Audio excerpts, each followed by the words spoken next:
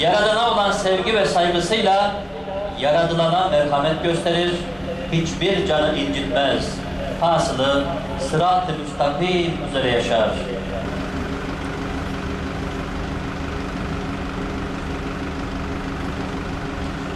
Elhamdülillah, elhamdülillah, elhamdülillahi hamdel kamiline ve salatu ve selamu ala Resulina Muhammedin ve ala alihi emreder. Fenalığı, azgınlığı ve fuhşiyatı yasaklar, düşünüp tutasınız diye size böyle öğüt verir.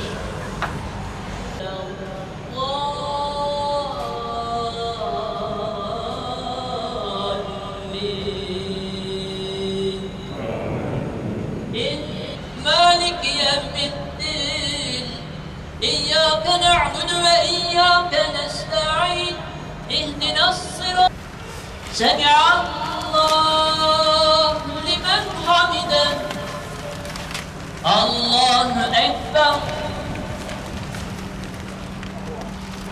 الله